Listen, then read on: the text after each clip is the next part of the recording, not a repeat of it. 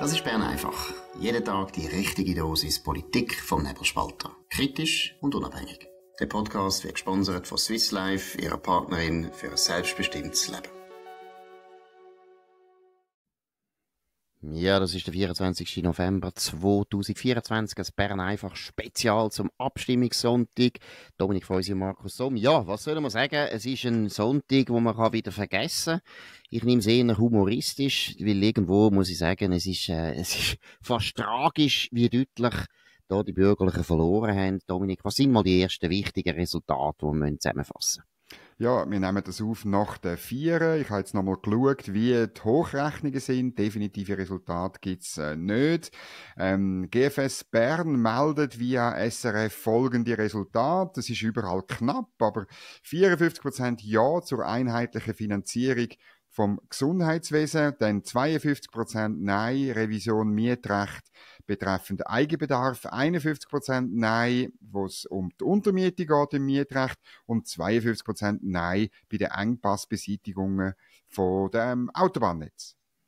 Genau, also das heisst, wir haben äh, drei Vorlagen, die durchgefallen sind und eine, immerhin eine, ist durchgekommen und das ist meiner Meinung nach sogar eine wichtige wo äh, doch eine gewisse Entlastung wird geben. Also eigentlich muss man da sagen, da sind wir sehr froh. Das ist gut. Das hat man offensichtlich äh, den Leuten können klar machen. Aber natürlich das grosse Thema sind nicht unbedingt Mietvorlagen, sondern die Autobahnen. Der Albert Rösti ist untergegangen wie ein schwerer Sack im Wasser, hat sich wahnsinnig bemüht, ist sehr viel auftreten, hat alles gegeben aber eigentlich muss man sagen, Dominik, der Albert Röst ist fast der Einzige, den man gesehen hat oder wo man gespürt hat in dem Abstimmungskampf. Es war ein ganz komischer Abstimmungskampf aus Sicht der Bürgerlichen. Ja, das ist so. Oder ich meine, ein Bundesrat allein, auch wenn er bürgerlich ist und beliebt ist bei den Leuten, das langt halt nicht. Oder Linksgrün hat besser mobilisiert. Man sieht jetzt auch die Stimmbeteiligung an, die ist nicht so hoch, die ist unterdurchschnittlich so für die letzte Zeit. Ähm, und dann ist es, äh, wir haben das gerade auch schon da gesagt, dann ist es so, dass Linksgrün halt an Turnen geht.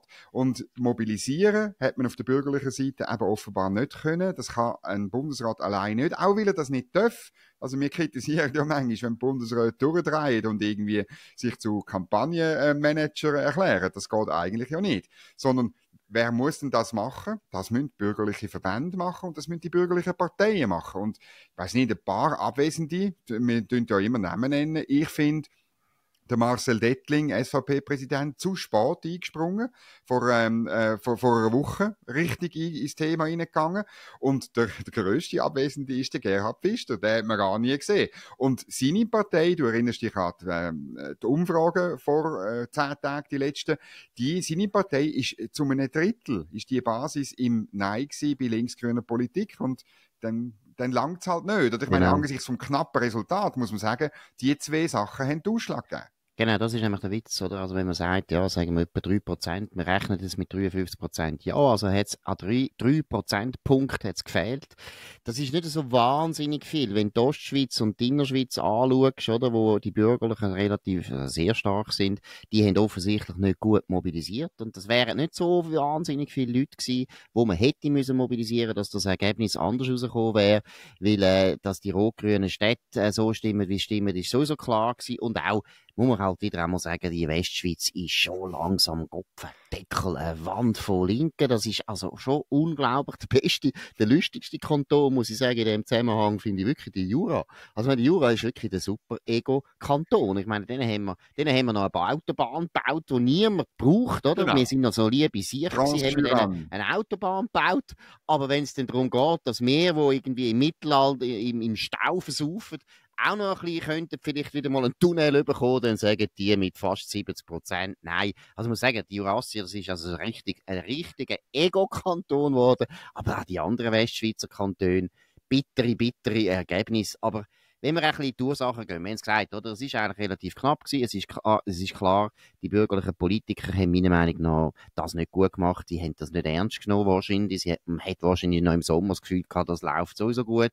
Und man hat vielleicht auch ein bisschen gewisse Arroganz entwickelt, weil äh, man hat so das Gefühl gehabt, der Rösti ist jetzt einfach der Supermann, oder? Weil er, äh, er gewöhnt sowieso alles, der ist so beliebt und so. Da müssen wir gar nicht mehr viel machen. Also ich glaube, man hat die Vorlage vollkommen unterschätzt. Das ist das eine. Und das Zweite ist, und das ist ein bisschen ernster, oder? Mich dunkt die Zusammenarbeit zwischen den bürgerlichen Kräften, sagen wir zwischen den Parteien, aber auch vor allem zwischen den Verbänden, funktioniert überhaupt nicht. Ich meine, der Gewerbeverband hätte jetzt die Kampagne müssen führen, aber dann ist immer so, wenn ein Verband zuständig ist, dann hat man das Gefühl, die anderen, die hängen einfach ab und machen nichts, oder? Ich meine zum Beispiel der Bauernverband. Ich habe nichts, aber auch gar nichts gesehen von dem famosen Bauernverband, wo Gott verdeckel immer auf unsere bürgerliche Solidarität kann rechnen, wenn sie irgendwelche, irgendwelche birrenweiche Vorlagen von der Linken müssen abwehren Aber jetzt und ich meine, die Landwirtschaft ist genauso darauf angewiesen, dass sie ihre Tiere, dass sie ihre Waren können auf der Autobahn gut äh, transportieren. Von denen hat man nichts gehört. Von der Landwirtschaft gar nichts gehört. Economy Suisse, nichts, nichts. Logistikbranche, Kopfendeckel, es ist ja vor allem, du hast, wir haben es besprochen vorher, es ist ja nicht nur einfach die Leute, die im Stau stehen.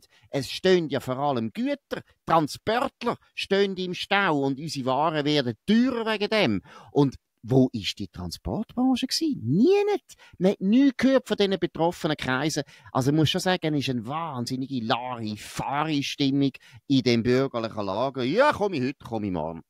Also der TCS hat auch gefehlt, oder? Das ist der grösste Verkehrsverband von der Schweiz, eine Macht. Da hat, ja, der, der, der Präsident hat, glaube ich, irgendwann einmal ein, ein, ein, Interview im internen Blättchen, wo eh niemand liest, gegeben. Aber du sagst es richtig, ähm, äh, ich finde auch wirklich die Güterfrage ist extrem untergegangen. Das hat man heute Nachmittag gesehen bei so dem Interview mit Befürworter und Gegner, es ist gar nie um Güter gegangen. Also SRF hat äh, schon sehr früh, ich glaube um halb eins, ein Interview gemacht mit dem Beat Flach. Das ist der, der aber durchaus repräsentative Linksausleger von der grünliberalen äh, Partei. Ähm, ja, der hat gesagt, äh, ich habe genau zugelassen, erstens, es hätte eine sachliche Kampagne von links-grün gegeben. Dabei ist das die Trump-Kampagne 2.0 gewesen. Aber item, die Lösung für den Stau sind für ihn Carpooling, also das heißt, dass mehrere Leute, Fremde, miteinander zusammen ein Auto besser ausnützen und das Velo. Also mit Velofahren ist die Lösung für das Problem, das man hat, ähm, irgendwie beim Fersenbergtunnel zwischen Zürich und Schaffhausen oder da bei uns zwischen Wankdorf und Schönbühl, sind alle mit dem Velo in Zukunft auf dem Pannenstreifen wahrscheinlich fahren und jubeln, wenn sie den Beat Flach sehen, der mit dem Lastenvelo aus dem Aargau kommt, oder? Genau. Aber Güter sind nie ein Thema gewesen das finde ich wirklich das Problem, weil es, wir haben die Zahl ja gesagt, 70 Prozent der Güter gehen über die Autobahn. Und genau. jedes Sojaschnitzel von der Lisa Mazzone, die hat übrigens auch gesagt, Lösung ist Fuß- und Veloverkehr, jedes Sojaschnitzel von der Aline Trede muss über die Autobahn kommen. Genau, und der Ding hat das eigentlich richtig gesagt, aber erst am Freitag, der Marcel Dettling, oder, dass die Leute eben, die hocken dann im Zug, im Intercity zwischen Bern und Zürich und finden natürlich eben, es geht ja alles gut, wir brauchen da gar keine Autobahnen und äh, während dem Zugfahren bestellen sie dann auf Amazon irgendwie 300 Bücher oder nein gut, Bücher lesen sie ja leider nicht mehr so viel, aber sonst, sie bestellen sonst irgendetwas und haben sich wahrscheinlich noch nie Gedanken gemacht, wie denn das Zeug überhaupt zu ihnen heimgeliefert wird, nämlich nicht mit dem Lastenvelo. Nein, aber das muss ich sagen, das ist sicher auch ein Fehler von den Bürgerlichen, aber vor allem auch von der Transportbranche. Ich muss sagen, ich meine, die sind total direkt betroffen, von denen habe ich nichts gesehen und es ist schwer, schwer nachvollziehbar, dass man eigentlich so eine, so eine wichtige Vorlage so schlittern lassen hat. Wenn du da würdest weiter nachdenken, woran liegt es eigentlich? Ja, man muss schon noch die Vorlage genau anschauen. Oder? Sie stammt von der Simonetta Sommaruga. Und, sie ist, und ursprünglich ist sogar ein Projekt weniger drin gewesen, es sind fünf Projekte gewesen, in der Romandie gar nicht. Und Onisua Malipons, ich bin mir fast sicher, dass Simonetta Sommaruga die Vorlage so schlecht oder ungenügend ähm, gemacht hat, weil sie ja gesehen hat, was, was, was irgendwann einmal droht, nämlich das Referendum. Und es ist schon so, stell dir vor, du bist Autofahrer und stehst in Lugano, äh, Agglomeration Lugano, jeden Tag im Stau. Oder im Aargau, jeden Tag im Stau. Oder in Zürich, jeden Tag im Stau. Oder dort Richtung Solothurn, wo es ähnlich aussieht. Oder ähm, an anderen Orten, im Wallis zum Beispiel, gibt es auch Stau und so weiter. Oder in Luzern, rund um Luzern, Zug, Rotkreuz. Hast du dann das Gefühl gehabt, jawohl, die sechs Projekte, die lösen jetzt mein Problem? Möglicherweise eben nicht. Und dann, das hätte dich nicht mobilisiert, erstens, oder du hast vielleicht sogar Nein gestimmt, oder? Das könnte durchaus sein, dass diese Vorlage zu wenig und zu spät gekommen ist. Genau, und da muss man auch mal daran erinnern, dass in der Schweiz wenn man die ganze Geschichte anschaut von den Ausbauten von Infrastruktur, also da rede ich jetzt auch von den Eisenbahnen, es ist immer gewesen, weil, weil wir föderalistisch sind, muss irgendwie allen Regionen ein bisschen etwas geben. Und das ist völlig richtig, wie du sagst. Ich meine, sechs Vorlagen, äh, sechs äh, Projekte und die Grossregion Zürich, wo du am meisten Stau hast, einfach nichts. Das ist schon mal ein Riesenfehler. Denn das Mittelland praktisch nichts, außer Bern. Eben, Aargau und Solothurn hat gar nichts davon gehabt. Dann das Tessin, wo auch eingestimmt hat. Und ganz Tessin, ich meine, die sind, die versaufen ja im Verkehr. Es ist völlig klar, dass die etwas gebraucht hätten.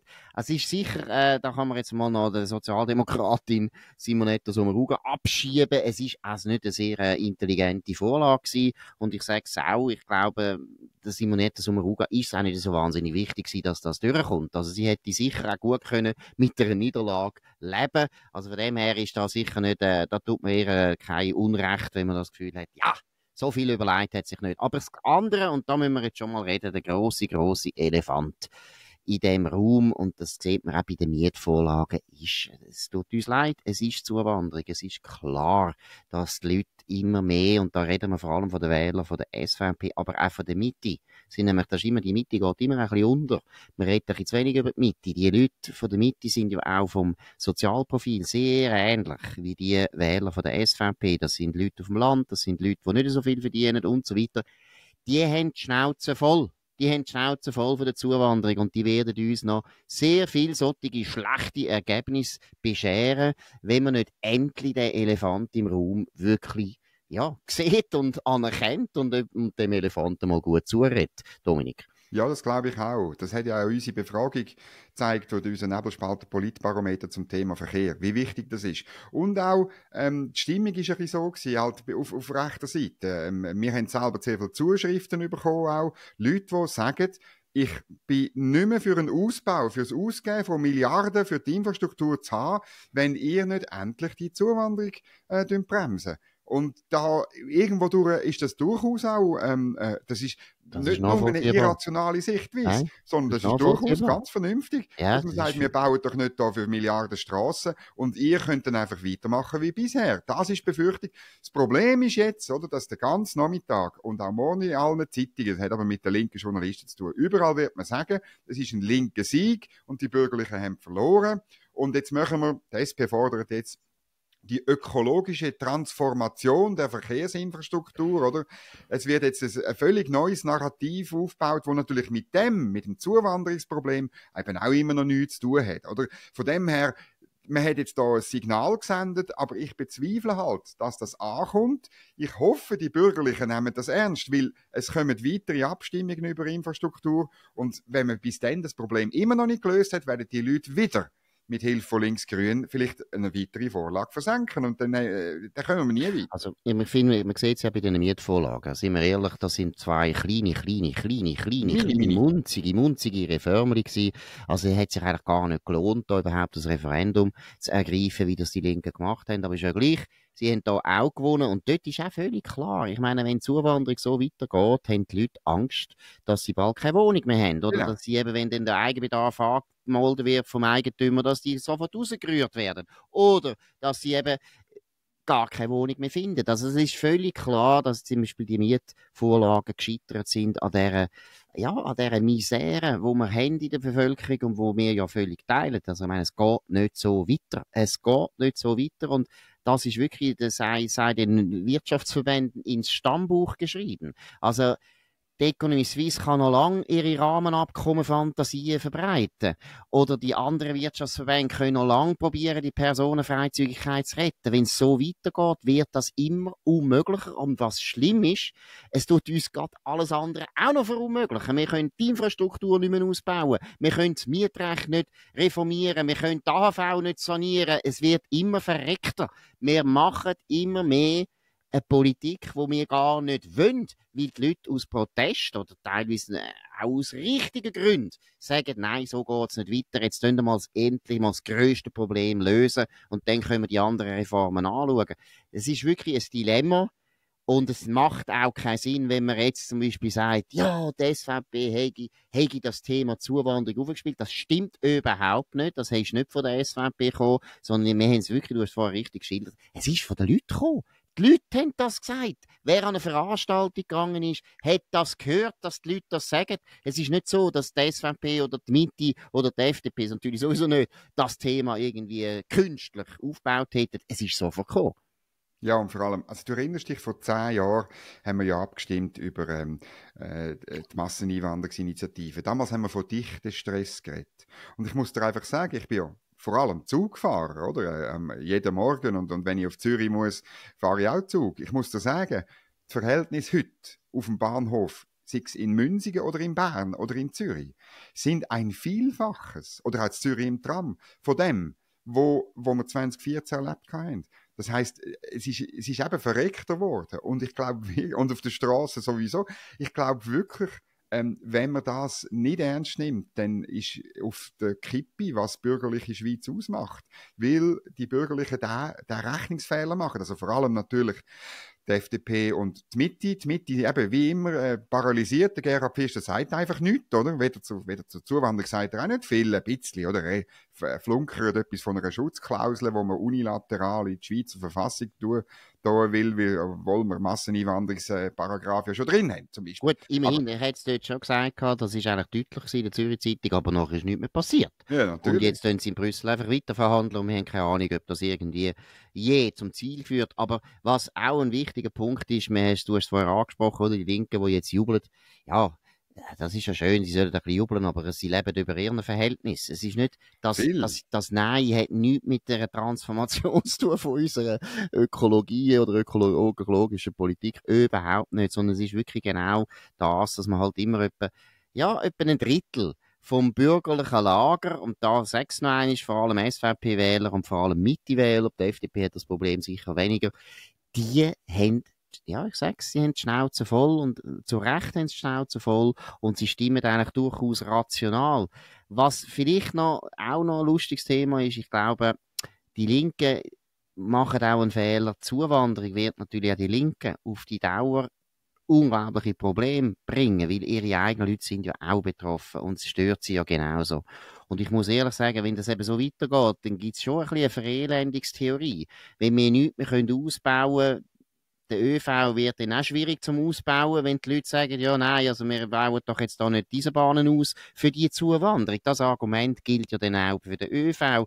Also letztlich wird es dazu führen, dass wir am Schluss die ganze Politik nur noch prägt ist von dieser Zuwanderungspolitik und es geht fast nichts mehr für sie. Also wie gesagt, die Bürgerlichen müssen da sich etwas überlegen, neue Lösungen bringen, dass wir uns endlich, endlich können emanzipieren von dem, ja, muss schon sagen, von dem Diktat aus Brüssel, wo unsere Personenfreizügigkeit beschert hat, wo eigentlich dysfunktional ist. In vielen Bereichen für uns. Hat eine gute Seite, aber in vielen Bereichen ist es eben dysfunktional und das müssen wir irgendwie korrigieren. Und vielleicht auch Take Back Control, das ist ein grosses Wort in Amerika oder auch in England gewesen. Wir müssen das wieder selber steuern, das für uns, für unsere Interessen stimmt und nicht für irgendwie Interessen, die weit, weit weg sind von dem Land für die, die da sind, oder? Das ist auch das Entscheidende, glaube ich, wenn es dann ums Abstimmen geht. Dass es nicht so links ist, der Sonntag, oder? Sieht man teilweise auch kantonale Resultate, die schon rum sind. Ähm, ein äh, Stichwort ist äh, das Ausländergesetz, wo ab, also Ausländerstimmrecht, wo abgelehnt wird zum dritten Mal in Basel-Stadt. Äh, oder auch Stimmrechtsalter 16, wo abgelehnt wird im Kanton Aargau. Dann äh, habe ich mir notiert, ein Klimagesetz im Wallis ist gescheitert. Du musst dir vorstellen, das sind alle Parteien außer der SVP und auch alle Verbände sind dafür gewesen, dass das Wallis schon 2040 klimaneutral sollte sein. Und es ist äh, klar, es ist klar abgelehnt worden im Wallis. Also, das mit der Transformation ist nicht so, ist mir nicht so weit äh, gekommen, glaube ich. Und es wäre völlig falsch, wenn die Linke das wirklich so glauben. Also, wir lassen es im Glauben von mir aus. Aber es zeigt einfach, die, die bürgerliche Schweiz, die gibt es schon noch. Sie hat heute einfach ein anderes Signal senden und auch ein anderes, als jetzt Kollegen von vielen Medien so aufgreifen. Genau, und was natürlich schon Gefahr ist, weil eben die Narrative, die sind halt wichtig und das Narrativ vom linken Sieg, das wird jetzt zuerst für den Linken einmal erfunden und dann natürlich von unseren, wie viel haben wir? 76 Prozent der Journalisten genau. halten sich für links, also für die 76 Prozent der Journalisten ist klar, dass sie das linke Narrativ übernehmen und das Problem ist eben, dass es dann viele bürgerliche Politiker gibt, wo das glauben die das Gefühl haben, ja, eben, ja, wahrscheinlich ist es halt gleich so, man kann gar keine Autobahnen mehr bauen. Dabei muss man einfach eine intelligentere Vorlage machen. Ist klar, jetzt haben wir äh, zehn Jahre, ne, zehn Jahre, wir haben schon ziemlich lange jetzt Ruhe. Wahrscheinlich ist es noch schwierig für den Albert Rösti, jetzt da gerade wieder mhm. etwas Neues aufzugleisen. Aber letztlich, du schreibst das auch in deinem Kommentar, Dominik, wir brauchen, wir brauchen da wirklich einen neuen Ansatz, nicht so einen Ruger-Ansatz, sondern wir wirklich mal überlegen, wir brauchen eine Gesamtkonzeption von dem Autobahnnetz.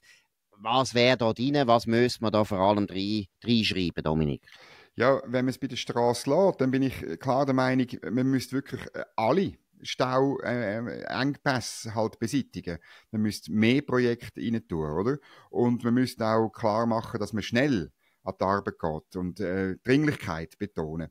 Ähm, ich finde halt noch, wenn ich noch heute Nachmittag überleite, ein Problem ist auch, dass die beiden Fonds, der für den ÖV und der für die Straße, dass die getrennt sind, obwohl das Geld für beide ja wesentlich aus der Straße kommt, oder? Eigentlich müsste man sagen, es geht um Verkehrspolitik als Ganzes. Ist auch in unserer Bundesverfassung so, dass, dass Verkehrspolitik nicht einfach da so Gärtli-denkenmässig auftrennt ist und das Geld kommt eben einerseits aus Steuergeldern, andererseits von der Straße her. Und darum müssen wir die eigentlich auch zusammenlegen. Die Trennung, die verdanken wir übrigens noch der Doris Leuthard. Das müssen wir, der Diesel Doris, müssen wir schon noch mal erwähnen. Und dann könnte man natürlich bessere Vorlagen machen, wo ÖV und Straße eben zusammen einen, einen Schritt vorwärts äh, käme. Das fände ich der Ansatz. Und ich finde, ich würde äh, mal Betrösti zugestehen, er, er muss nicht unbedingt warten, weil die Vorlage eben ist von der Simonetta Sommaruga hergekommen. Die ist vom Tisch. Da kann man sagen, mal, wir tun jetzt das Verkehrsproblem gesamthaft anschauen, so wie man in den 50er und 60er Jahren ein äh, Autobahnnetz für die ganze Schweiz geplant hat und, und, und irgendwo durch sachlich auch dann durchgebracht hat. Die Zeiten sind nicht mehr die gleichen, aber man sollte es probieren. Genau, man muss wirklich dort hingehen, wo einfach die Engpässe sind und wo es einem wehtut. Magadino-Ebene ist also etwas, was mir jedes Mal fertig macht im Tessin. Ich meine, man kommt ja fast nicht mehr auf Locarno. Alles das sind Themen, die die Leute und die Bevölkerung total beschäftigen. Und dann kann man die, Be die Bevölkerung eben auch mobilisieren, weil das, das ist ja schon das Phänomen. Ich meine, der grosse Teil von unserer Bevölkerung tut sehr häufig mit dem Auto fahren. Das ist ja auch noch etwas. Es sind etwa 80 Prozent, die eigentlich immer irgendwie mit dem Auto unterwegs sind. Das ist ja so eine grosse grosse Mehrheit und dass die grosse Mehrheit nicht an Turnen kommt oder falsch stimmt oder anders stimmt, mhm. als eigentlich fast die eigenen Interessen sind, ist ja schon bemerkenswert. Und das hat ein bisschen damit zu tun, dass die Vorlage nicht gut war, das ist klar. Die Kampagne ist nicht gut gewesen aber man kann das alles verbessern, man kann es noch einmal antreten und ganz, ganz wichtig, und das ist wirklich der Punkt, glaube nicht die linke Narrativ. Es heißt immer noch Autobahn, Autobahn, Autobahn. Das ist Bern einfach gewesen, spezial an dem 24. November 2000.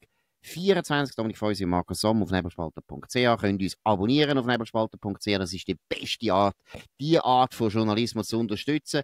Heute werdet ihr im Fernsehen, in den anderen Radiosendern, ich weiß nicht wo, in den Zeitungen immer das Gegenteil hören von dem, was wir gesagt haben. Es wird gesagt, ja, eben, alle Schweizer wollen jetzt unbedingt in die Steinzeit zurück mit dem Lastenvelo. Das ist nicht der Fall. Deshalb müsst ihr da zuhören. nebelspalter.ch. Und wie gesagt, ihr müsst euch nie entschuldigen, wenn ihr nach wie vor gern Auto fahrt. In dem Sinn, macht's gut, noch einen schönen Sonntag, bis morgen, gleiche Zeit, nicht gleiche Zeit, aber die übliche Zeit auf dem gleichen Kanal.